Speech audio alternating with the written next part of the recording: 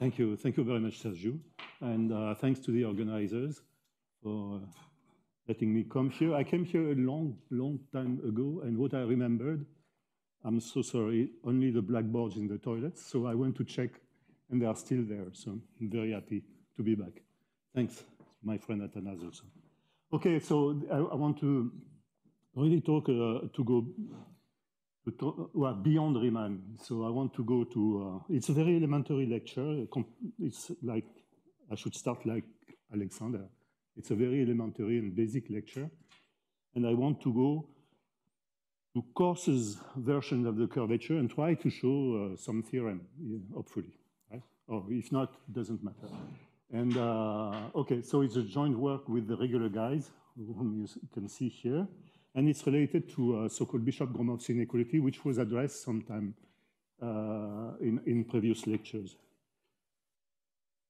Uh, okay, good. It's going to be a mess here. So let, let, me, let me start by recalling the uh, classical case of uh, this uh, inequality, which is very important in the landscape of Riemannian geometry. And then I should put this on, and now it does work. Okay. So, uh, so the classical uh, version of uh, uh Bishop-Gromov's inequality is on a, complete Riemannian manifold. And uh, it's related to uh, some curvature, which is the Ricci curvature, which I, I, I, guess you all know, but let me recall the, the point. So you take a manifold and, and, and G is the Riemannian metric, and sigma is the sectional curvature, and the Ricci curvature is some average of sigma. So the good thing about Ricci curvature is it's the same object and the metric, so you can compare to the metric. This is what is, makes it uh, a very strong uh, notion of curvature, very important notion of curvature. Okay, so you average uh, the sectional curvature, well, it's not an average, just a sum, uh, on all planes. And, um, right, and, and later I will use this abusive language. I will say that Ricci is greater than, than kappa if uh, for all unit vectors. Yeah, I, I, forgot unit. For all unit vectors V, the Ricci curvature estimated as a quadratic form on this vector is greater or equal to kappa. Just to make sure that we, we agree on the notations. Right. So um, I need, so, so the idea of co comparison theorem is always the same. You, you compare a situation on a manifold with some curvature bound to a situation on a constant curvature manifold, which is some kind of weakness somehow, because we would love sometimes to compare to non-constant curvature, but this we don't know how to do at the moment. So X n kappa is a simply connected uh, manifold of constant curvature kappa, and B kappa n of R is the volume of balls of radius r in this manifold. The center doesn't matter because it's completely uh, invariant by isometries. Right, and so the um, Bishop and Gromov theorem, so they, they, did it separately. Well, Bishop did a version and Gromov extended it, is the following. So if, if one takes a complete Riemannian manifold of dimension greater or equal to two, with, whose Ricci curvature is bounded below, so the n minus one is just some kind of normalization here, and kappa may be negative, then we can compare the ratio of volume of balls as it is written here. So volume of big balls divided by volume of small balls is less than the same quantity with the same radii on, on the comparison manifold, constant curvature. So it's called Bishop-Gromov. I think Bishop had a version of this before Gromov. And you should look at this book, Bishop Crittenden, which is about Riemannian geometry. But, but, but, but the balls were subject to to, to stay inside the injectivity radius. And Gromov explained how we could go outside. So there is no limitation on the radii here. You can, you can, you can go beyond the injectivity radius, which is a good thing, actually. And, and there is some equality case, but, but it's not the purpose of this lecture to be uh, talk about equality, but just for the sake of completeness, I mentioned it, right? X, no. A priori, no if, it, if it's closed, you, you, after the diameter, you don't get any information. Right. And, and so what, what's the use of this? Let me mention uh, a couple of results uh, which shows that it is useful uh, for, for, for some topological issues, and that will uh, be an idea that I will keep up to the end of, of, the, the, lecture. So, um, so let, let, me make a, a, let me go to a coarser version of the uh, of the curvature. So instead of Ricci curvature bounded below, I will work with packing of balls. So here's the definition of a epsilon packing. Well, the manifold is supposed to be compact here, closed, just to for simplicity. You could do this on non-closed manifold. Uh, and so a packing is just a, a family of balls of, radii, of radius epsilon here, and, and, and they are disjoint. Nothing fancy. But of course, you try to find the, the best one, which is the largest, the packing with the largest number of balls. And, and pack of epsilon is, an, is the number of the maximal number of, of, uh, of balls that you can put of radius epsilon in this manifold so that they are disjoint. And of course, because the manifold is compact, it's a number which is uh, finite. Right. And, and this is a, a trivial inequality. Uh, so if you write if, if you write the volume of the manifold, so volume of the big manifold is just the volume of the ball of radius diameter of the manifold. The ball of radius dia diameter covers everything. Then uh, since the, the manifold is is uh, so this volume is, is greater than the sum of the volume of these balls of radius epsilon. And if I, I, I take the, the, the, max or even, uh, sorry, the max of this, I get an, an, upper bound on the packing number. So the, the, the, packing number can be controlled by, by volume. This was an idea that Gromov insisted on. Volume allows to control some, some topological invariant, and we'll see later more precise statement. Right? And with the comparison theorem that I mentioned, we get an, an upper bound uh, if the Ricci curvature is bounded below by uh, minus n minus 1. Here, kappa is equal to minus 1. So this is a very trivial example, but then we, we, we can take this packing number as a good re replacement of, of the Ricci curvature, a coarse version of the curvature. That's what we will, did, we will do later. Right. Well, the proof is obvious. Let me skip that. Uh, uh, ah, sorry. So let me skip the, uh, this idea. So I, uh, I, I, want to show some compactness. I want to, to explain some compactness uh, result on the space of Riemannian manifold. And so I have to explain what is the Gromov-Hausdorff distance. Probably all of you know already know that, but, let, but, but, but if I, I skip this slide, I will be completely lost in my talk. So let me, let me just talk about it. So, so I, I, I gave a, a, some kind of personal definition of, uh, of uh, Hausdorff, Gromov-Hausdorff distance.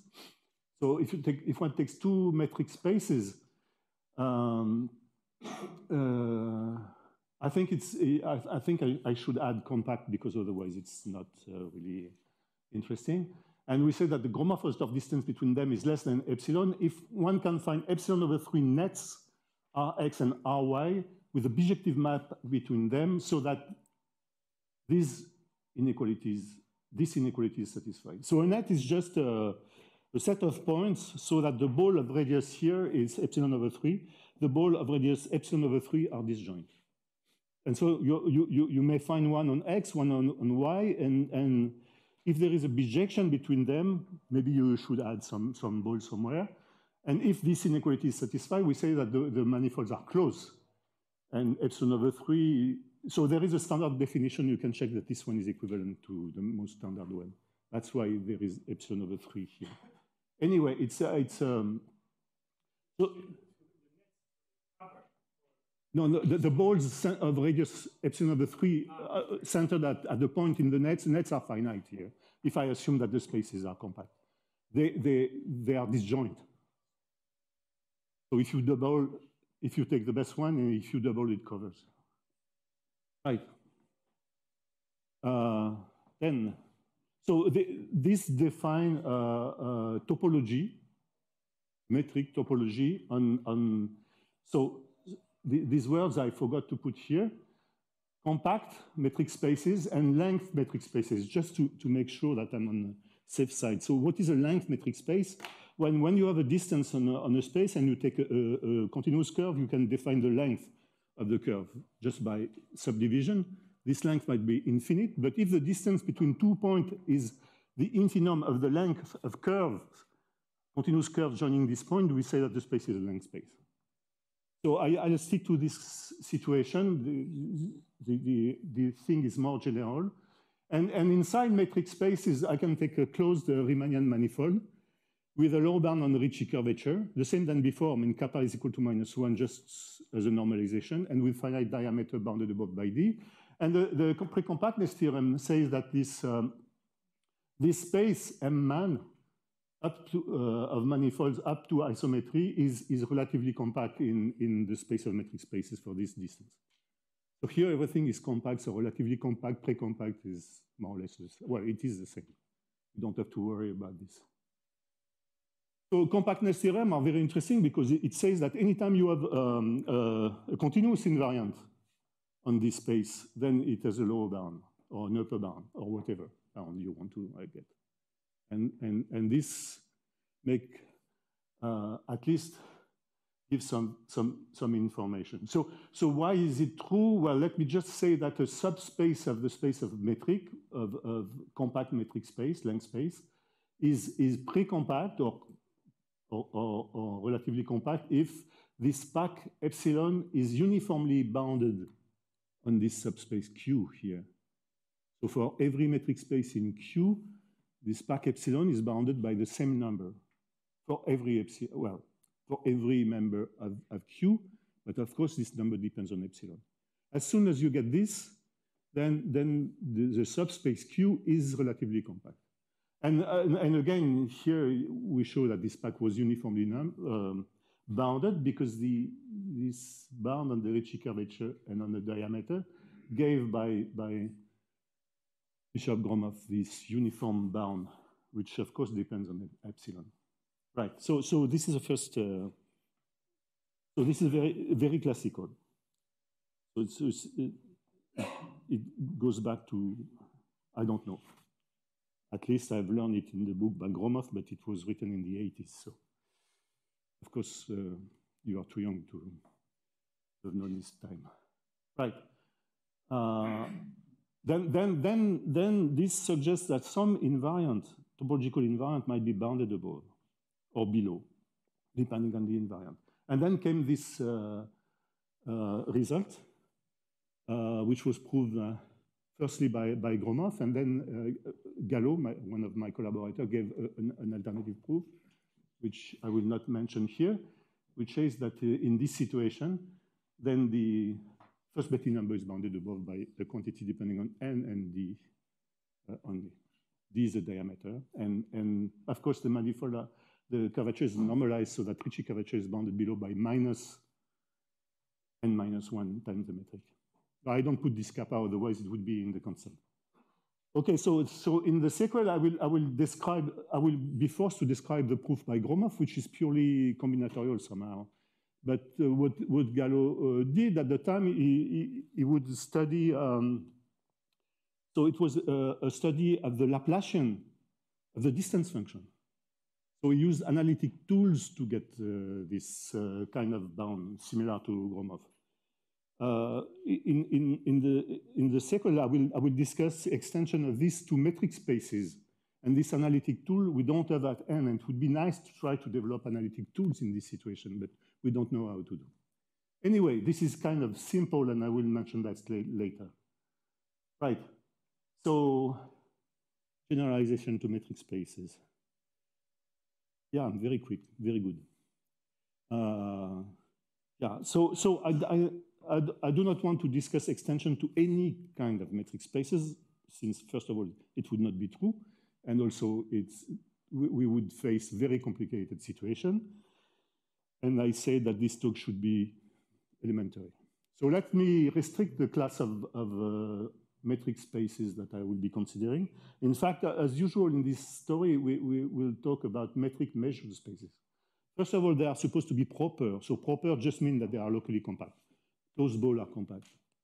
So you exclude uh, Hilbert spaces, for example which somehow is a pity, but, but thing would not be true in that context.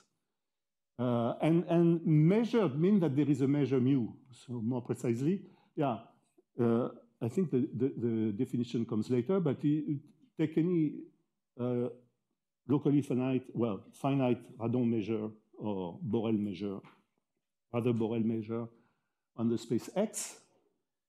And, uh, and then we define this notion of doubling, C doubling at some scale. So we need a measure because we will, it's not a Riemannian manifold, and we will replace volume by measures of balls, right? So we need a reasonable measure. I will, I will comment this a bit later. I will give you examples. So a doubling property is just an inequality like this, means that balls have radius twice the, of a radius twice the radius of r here. And if you compute the, the ratio, then it's bounded. So the volume doesn't grow too quickly, right? So it's a, it's a natural uh, assumption. And in fact, it's, of course, a consequence of a low bound on Ricci curvature because of this Gromov-Lawson, uh, Gromov, I'm sorry, of, of this Gromov-Bishop uh, Bishop-Gromov inequality. Um, yes, I have been discussing Gromov-Lawson results uh, last week with colleagues, so that's why I'm completely uh, upset, upset by, by, this. Yeah, and uh, right, so so this is doubling. So if you double the radius of the ball, then the ratio between the two measures is bounded, so it doesn't grow too quickly. Somehow it's like uh, polynomial growth. So I have, I have some, some extra assumptions. So usually you ask this for all radii, but here we, we can restrict ourselves to uh, radii in some range. So we say C, double, C doubling at scale R0, which is strictly positive, if, if the radii, for all radii between R0 over 2 and 2R0, right, in some range around R0, reasonable range, we have this inequality. I added this, of course, because if the, the, the measure of this ball is zero, then it could not be true. And, and you'll see later that this, we will be interested in, in measures for which this could be zero. And for example, if you have a sum of Dirac mass as a measure, which is a case which is extremely interesting, we'll explain later. Right. And this should be true for every x. So this is the C doubling at scale R0, which is much weaker than the classical doubling condition, which supposes one for every R. And also, it's, it's, it's much weaker to, um, than uh, Ricci curvature bounded below. And, and so it's another coarse version of the curvature. And, and the question is, what can we do with that? So, um, uh, yeah, so here is a, another remark. So the local geometry is not concerned by this doubling. So everything could happen locally in small balls.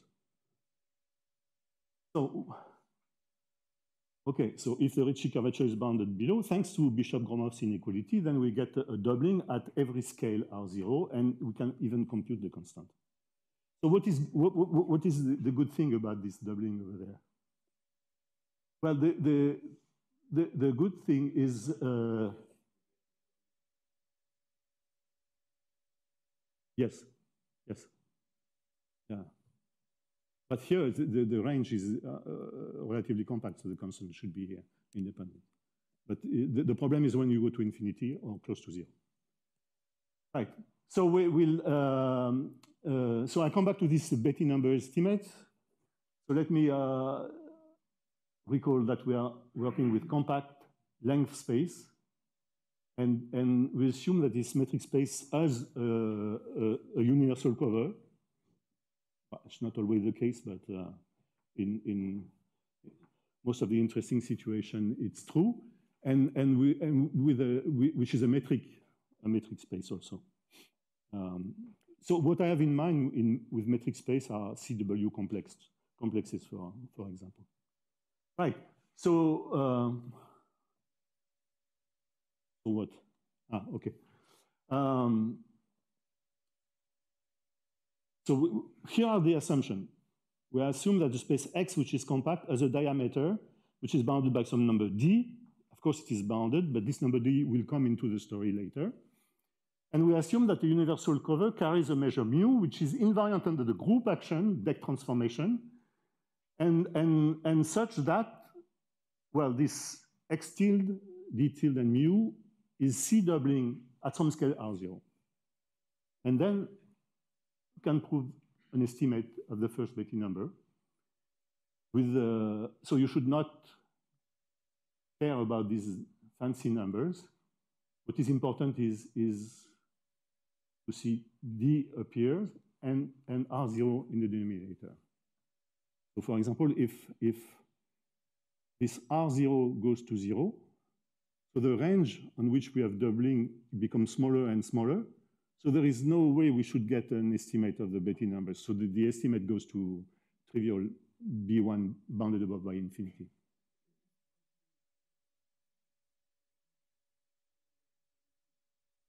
No.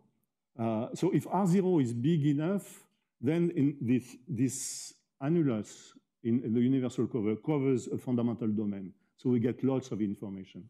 So somehow if R0 goes to infinity, then only the 40 remains. Maybe it's 41 or 39. So we,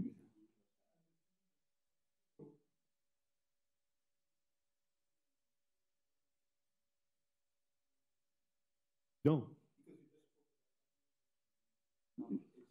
It's in the universal cover. Ah, that, that was your point. Yeah, sorry.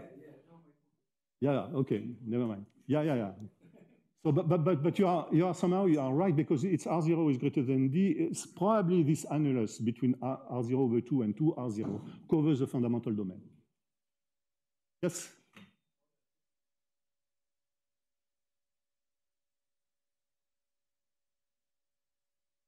Uh, not, not right now, but I have to think a little bit more.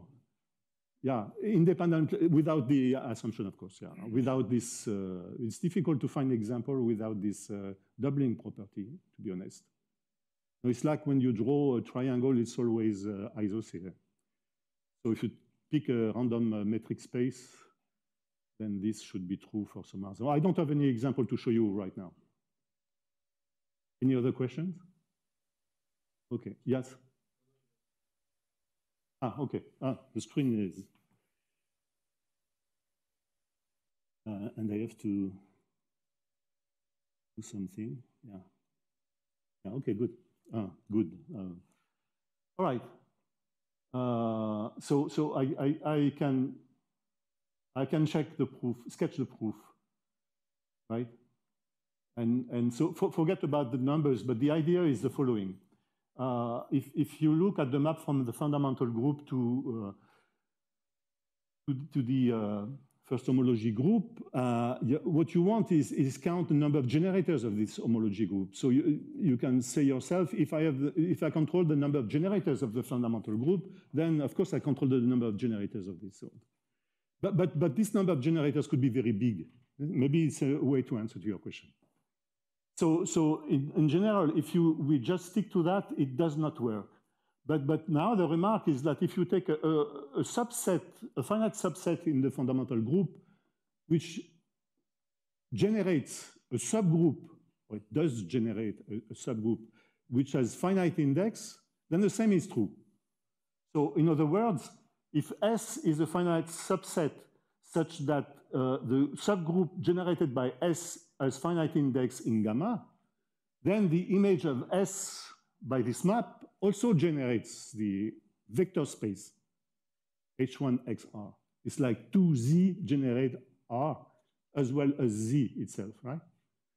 So we can, we can look for good subset S, make sure that they generate a finite index subgroup, and, and we have to make sure also that we can count the number of generators, right? Okay, so let me explain how we, well, that's what I said. So let me explain how we construct such a set. It does not come from us. I mean, it was already known by Gromov long time ago. Um, uh, we, we, take, uh, so we look at a ball of, of some ball of radius r, and, and, and we construct, uh, we look at a subset of, of the group whose uh, displacement, displacement at any point where the center of the ball is bounded above by this number, and then R will choose to be equal to R0 over there. So the point, there are enough points inside the ball of radius R, so the orbit of X has enough points, point, and we take only this point, but we, we want some kind of sparsity because we don't want to generate the full group. So sparsity is, is, is here, appears here. So the orbit, we take only the points of the orbit which are far away. Well, far away is measured by 2r. So it's, it's, so, and we take R to be equal to this. So it's an easy exercise to, yeah, I, am sorry, it's in, in the universal cover. Yeah, I should have put universal cover here. Sorry, one of the mistakes that I forgot to, to clean yesterday. But anyway, um, uh, anyway, uh, so we get a, a, finite set because in this ball there are only, the, the, action of the group is proper, so only finitely many uh, points of the orbit. We get a finite set, but this finite set is, is sparse. So the, the, the, we take only points of the orbits which are far away. And it's not difficult to show that it generates a subgroup which is clear, but that a subgroup has finite index because we take a maximal family of, of sets like this. So among all the sets S which satisfy these two inequalities, there is one which is maximal in terms of number of elements. One or several, I mean, could be several. So we take a maximal in this sense, and then this gives a, a, a set S which generates a finite index sum. So finite index is very easy to prove. And then we use the doubling property to, to control the cardinality. So we, we, we go from 2D plus 2R to 2D plus 3R because the ball centered at gamma x of radius R might go out of, of, the, of this big ball here, right? And, uh, and, and since we are looking only at ball on the orbit and the measure is invariant, all, all these uh, ball of radius r around gamma x have the same uh, measure, right? And, and this gives this upper bound here, and the doubling property tells you that, uh, well, the C is for 4 and 2R0, 2R0 and R0, R0 and R0 over 2, so it's CQ. So we get a bound uh, in this way. Yeah, it's supposed to be independent on R0. So you may have a thin layer where, where the doubling constant does not depend on Hyperbolic setting? Well, it depends on R0. I mean, if you, you can take the upper, it's a compact uh, between R0 and uh, R0 over 2 and R0 2. No, no, no, no. R0 is fixed here, right? Okay, so, so this construction is, is very classical, and one has to, to, to work a little bit to check this. Ah, okay. Okay, so we, we so we get um, easily uh, this, this this technique here is is is in yeah it's proved by Gromov, but it it was known long time before long time ago. I mean, we can you can find it in uh, no, even before in Murray Gerstenhaber, also in, in the book by, by Jean-Pierre Serre, uh, trees, uh, tree amalgam and, and, and SL2, he, he, has some kind of thing like this. So if, if but, but here the, you use the distance to have a, a maximal family of such things. Yeah. Right. So let me move to um, the, the thing I wanted to, to really to talk about, which is uh, Bishop-Gromov from Gromov hyperbolic spaces. So let me recall quickly what a Gromov hyperbolic spaces. Um, so uh, look at a proper space, and, and, and, such a space is said to be geodesic. So it's a length space. We assume it's a length space, but uh, a geodesic in this space is just a curve that satisfies this uh, equality, right? And, and so geodesic in this story are minimizing for every size of the geodesic, not only locally like in Riemannian geometry. And the space is said to be geodesic if x and y, for each x and y, there is a a geodesic joining X and Y. I'm not saying unique at all. It's just one, at least one geodesic. So, so then, um, then uh, a proper geodesic metric space is delta hyperbolic if all delta, uh, if all triangles are delta thin. So this is a standard picture that I stole on the internet. I mean, I'm too lazy to, to draw picture on the computer, so I, I find it quicker to pick it on the internet. So please don't don't tell anybody. And uh, I don't like it. But uh, so what what, what does this thinness mean? It means that uh, you see any point on one side of the triangle. So take what is a triangle? Three points, and geodesic joining the points. When you give yourself three points, there might be several triangles because the geodesic may not be unique. But you choose one triangle, and it should be true for all of them any point on one side should be a distance less than del delta of, of, the union of the two other sides. That's a, a definition. It's not a, the best definition in the world. In fact, uh, I learned this stuff thanks to Athanase, because he wrote a book with his collaborators, Thomas Delzant and Michel Coornaert, introductory book on, on uh, hyperbolicity in the sense of Gromov. And, and for me, the best, the best definition is about quadrilateral, quadrangle inequality, whatever. But this, this is uh, visual. And, and this delta plays the role of uh, curvature. Uh, okay, so, so the shape that you see here is typical of uh, triangles in negative curvature. So this delta says somehow that there is some negative curvature. Of course, this property here is always true for small triangle by compactness. Space is proper. So it makes sense only for large triangles, right? And so it says that in the large, it has some negative curvature. So if delta goes to zero, then, then all triangles are tripods and the space is, is a, a tree. And if delta goes to infinity, then, then you reach flatness somehow, because in R2, triangles do not satisfy this property. So the, the degenerate case is when delta goes to infinity, right? But as I said, there is a better definition, which I don't want to, I do not want to mention here, but uh, it's a much better one. So the, the, good point is that it is a coarse, a coarse version of negative curvature in the sense that it does not give any information about the local geometry and topology. Right.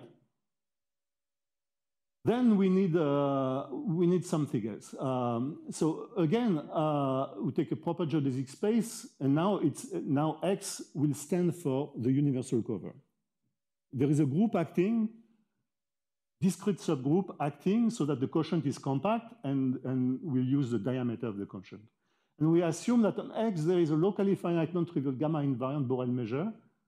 And then every time we have these data, we can define an invariant for, which has been, which we have been thinking of for the last uh, 40 years, 35, 35 years, which we call entropy because uh, in, some, in some contexts, it's related to the topological entropy of the geodesic flow in negative curvature. And it is just the, the, the, growth, it related to the growth of volume of balls. Here it's a metric space, so volume is replaced by this measure. So you, the, the, in negative curvature, essentially the growth is exponential and, and is exponential some constant time r, and you want to capture the constant, and this is the definition. So I, I, I wrote it as a limit, but because there is a compact quotient, does not depend on x, does not depend on mu, and it's really a limit because there is compact quotient, so it's a simple uh, version of this invariant.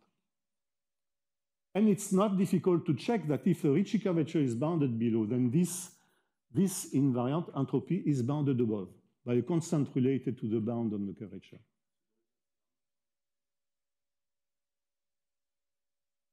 It, it, it, it, it comes into play in, only in the fact that the, there is a compact quotient, and hence that this does not depend on x. Not depend on x is trivial, but not depends on the measure, and, and it's really a limit but it does not come to play in, in, in these remarks here. As soon as you have a compact quotient, then you can, you can write this down. And the measure, of course, is invariant by gamma, which makes sense. Right? So, so for us, entropy bounded above is a really very coarse version of Ricci curvature.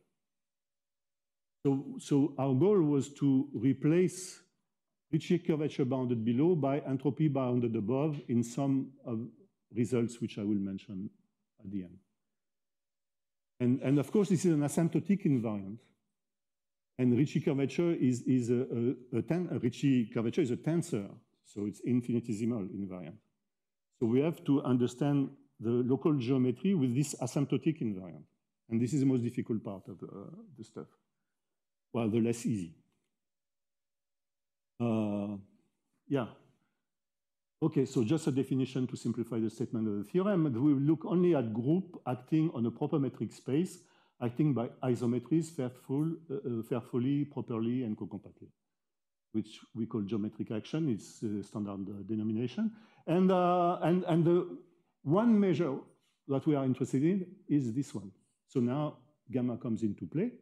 In this X, which stands for universal cover of its quotient, the group acts co-compactly on a proper space, and it is discrete. So in, in balls of radius r, there are finitely many points of the orbit.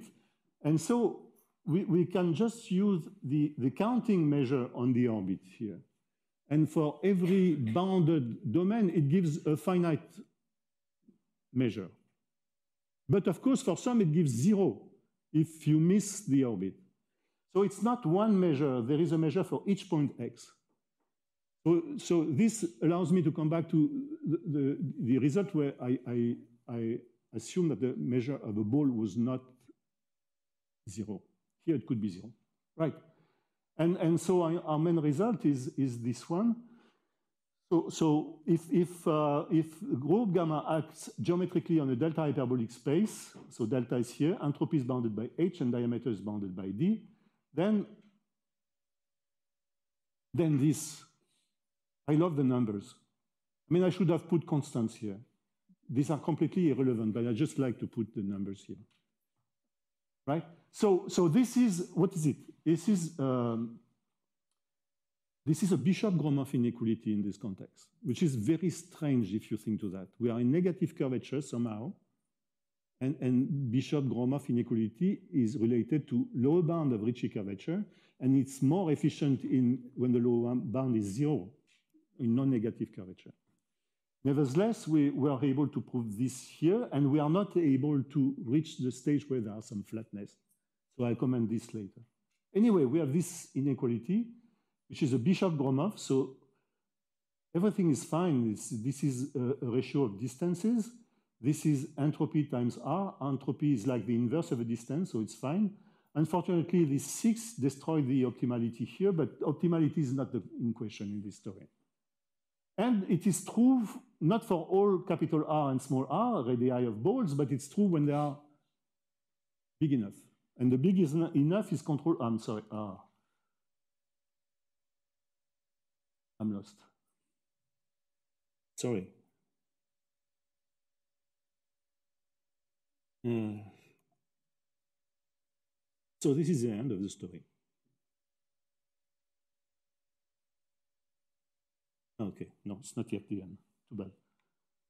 Um, I mean, this, this, you cannot avoid because this delta hyperbolicity doesn't tell you anything about the local geometry. So there is no way you can get information for small balls, right? But the, the non-smallness is reflected by this number, which is computed in terms of the three uh, datas here, d, delta. There is no h here, but h is here. Well, in fact, it's true uh, with some variation for any gamma invariant measure, but we love this one. And, and it gives some kind of doubling property, of course. If you double r, small r, then you get a, a bound, which is reasonable. So this is interesting because it relates asymptotic in, an asymptotic invariant H to, to not local, but, but uh, to reasonable size of balls and so we get information from the asymptotic. But the, the, bad thing is that this is a ratio. And ratio of volume of balls is not really a strong information. For example, with this, what is the volume of ball counted with this? It counts only the number of gamma so that gamma, distance between x and gamma x is less than r. So you count the number of points in gamma which whose displacement at x is smaller. But, but the ratio is not that nice. So I will explain how to get the uh, really a, a, a, good result later. So let me, in the last 10 minutes, let me, I will not give the proof, but I will show you two pictures which I, which I have not drawn myself. I mean, I asked Gallot to do it. He's even worse than me for drawing pictures. So you see, something are missing and so on and so forth. So, so, so this is a, a general property. If you take two balls even in R2, when they intersect, then you can, you can fit inside uh, uh, another ball, the red one, whose radius is something like this, right? But in a delta hyperbolic space, you can do even better. You can fit a ball outside. Uh, well, if, if you think to this in R2, when the, the radii of the ball goes to infinity, then you get two planes. which are parallel. So you cannot fit a ball outside. If you think in, in hyperbolic space, when the radii of the ball goes to infinity, you get two horospheres intersecting. So you can fit uh, a ball outside. And this is a key point in our proof. In fact, I talked with, with Gromov and he told me, ah, yes, I wanted to take this as a definition of delta hyperbolicity at some point. He, but, but then he switched to triangles and to quadrangles, which are more visual. Right, so this is a key point in, in, in, in the proof, but the, let me not explain the, the, proof. It's a mess anyway. In, in, instead, I will mention a, a, a finiteness uh, theorem for, for hyperbolic uh, metric space. So, so I use this notation here. And, uh, and uh, okay, so, so again, we have the, more or less the same uh, situation, delta H and D, and gamma is, so, so we are acting on a space capital X, which stands for universal cover. And we look at a group which is non-cyclic and torsion-free. I'll mention this discrete subgroup. And, and the space is delta hyperbolic. Then, then, the, then this is the most difficult part of, of, of, the result that you can count, you can measure this, the size. Uh, I should have put mu. You can count the number of elements in the group whose displacement at x is less than this quantity. You can estimate this number. So it's kind of difficult because uh, you have only this asymptotic information and you have to look at a ball of finite size. Right? Okay, so, so this has a nice consequence. So if one takes um, a, finitely generated uh, group, which I assume to be non-cyclic and torsion-free, and I take a, a, a symmetric, uh, a symmetric generating set sigma, then we can build, one can build the Cayley graph. Maybe I, I, don't have that much time to, to de detail this. Uh, and, uh, and the Cayley graph is just a graph on which the group act transitively. And, and the quotient of the graph is just a bouquet of circles. So the diameter is one. And so the, the previous, and of course we take on, on the graph the, the counting measure, and the previous inequalities shows that, so the, this graph is related to the group and, and to taking a, a generating set. So every time you have a group and a generating set, we have a graph. And, and then the previous inequality shows that we can count. So we assume that the graph has some entropy bounded by h and that it is delta hyperbolic. The diameter is one. Then we can count the number of generators that we have in this generating set, just with these data. And of course, now uh, there is this H is the entropy, the growth, volume growth in the graph. You have a metric. The metric, I, I, have been very quick. The metric is just uh, every edge has length one. And then the, the volume of ball is just a counting measure, and so on and so forth. Right, so when, when, you have a finitely presented group and you can count the number of generators, if you can bound the size of the relations, then you can count the number of groups. Right? And it turns out that for hyperbolic group, for every generating set, you can find uh, a set of relations, a finite set of relations whose length is bounded by this number. So this is not new. I guess in your book, you have something like 100 delta or whatever. You can always bound the, the size of the relations by a number depending only on delta.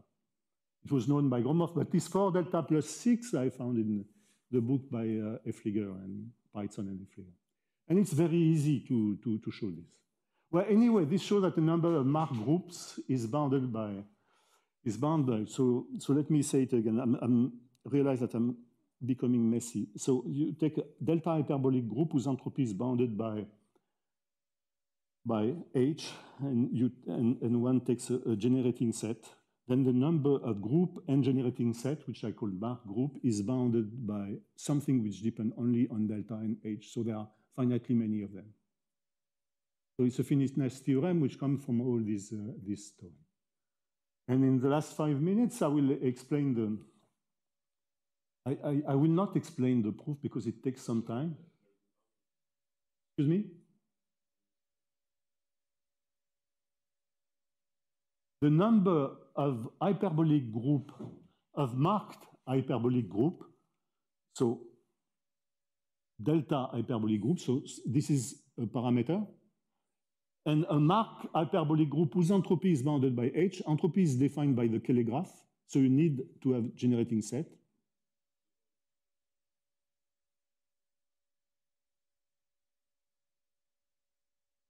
At, at, some point, you will either destroy the entropy bound or destroy the, the delta.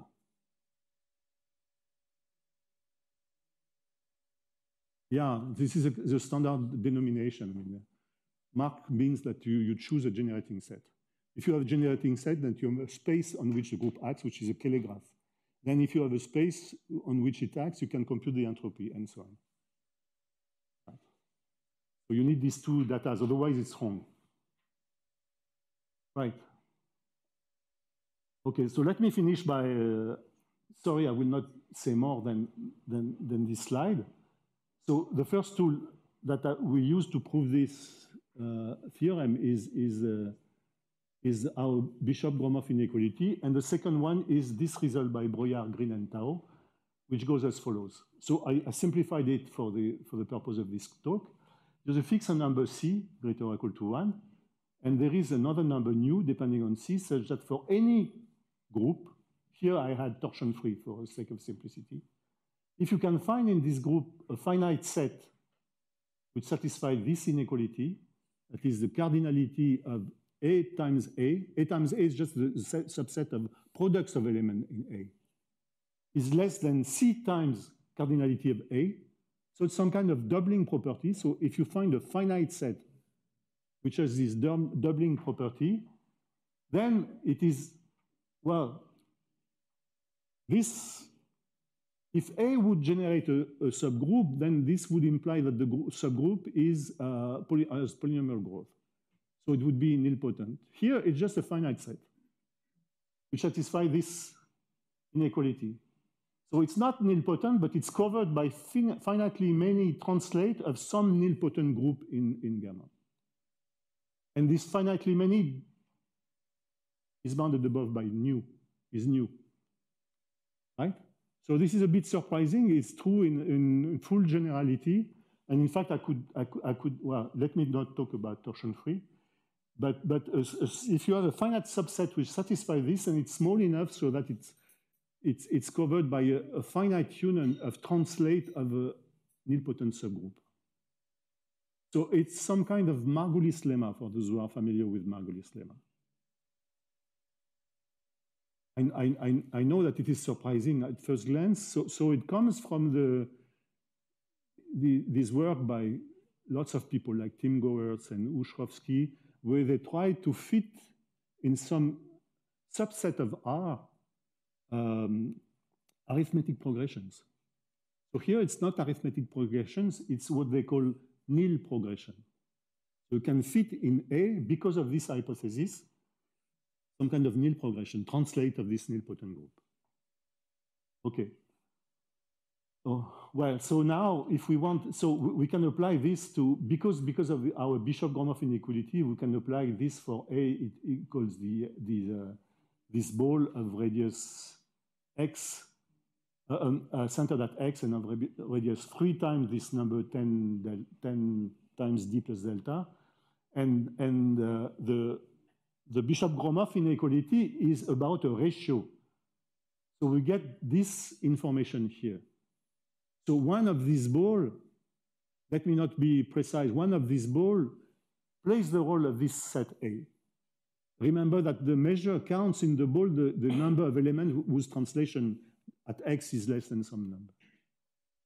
And so, and so we, can, we, can, we can say that these balls are covered by the finite number of translate of an nilpotent group. But, but, but in, a, in a delta, forget about this, but in a delta hyperbolic group, uh, nilpotent means, uh, mean, in a hyperbolic group, nilpotent means Z. So these are, are translate of, um, of cyclic groups.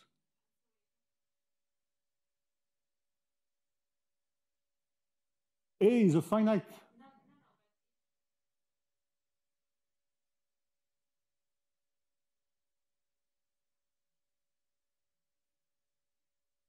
Ah, okay, okay, okay, okay. I, I went too quickly on this A. Uh, let me come back. Sorry, it's, it's, it's big messy. This is this, right? Is the element of the group whose displacement at x, we fix some x, is less than a quantity. And, and this R0 is this number which appears in the theorem. Sorry, I, I, I'm, I'm really uh, messing around everything here. Right, so, so this transform uh, uh, a ratio, a, a, control of the ratio, so this doubling property into a, a, structure of the space. And then the counting is done just by counting the number of elements here. And this is, is a trick related to hyperbolic group. All these are translated of the same nilpotent group, so you just have to count one anyway. Um, right.